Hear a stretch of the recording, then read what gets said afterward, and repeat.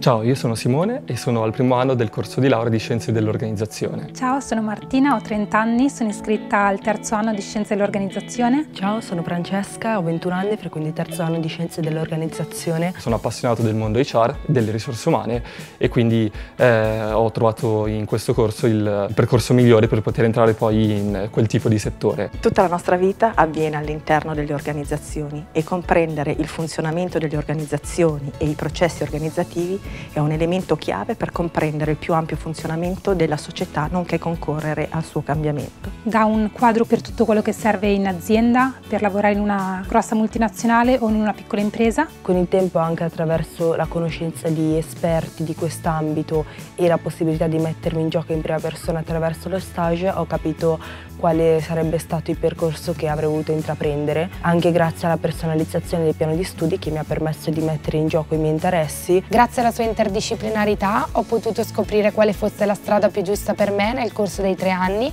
e soprattutto al terzo anno grazie allo svolgimento di uno stage. Lo stage dà l'opportunità di provare a uh, mettere in pratica ciò che gli studenti vedono in aula, anche in termini di soft skills.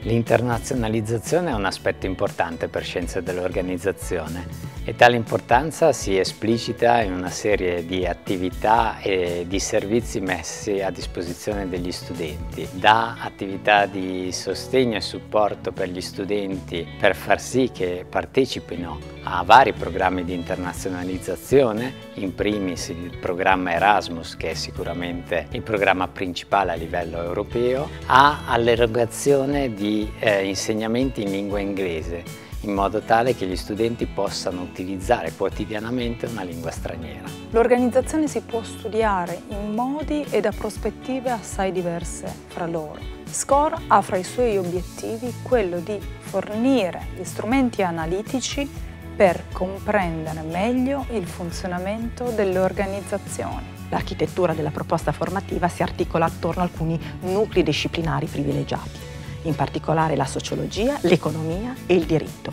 A ciò si aggiungono naturalmente altre discipline di approfondimento come per esempio la valutazione delle politiche pubbliche. Le indagini sugli esiti occupazionali ci raccontano che i laureati in scienze dell'organizzazione trovano lavoro soprattutto nelle aree delle risorse umane, del project management, della formazione, della pianificazione organizzativa all'interno di imprese private, enti pubblici e organizzazione del terzo settore. Se mi dovessero chiedere cosa farei tornando indietro, risponderei assolutamente un'altra volta il corso di scienze d'organizzazione. Tornassi indietro lo risceglierei. Bocca al lupo a tutti!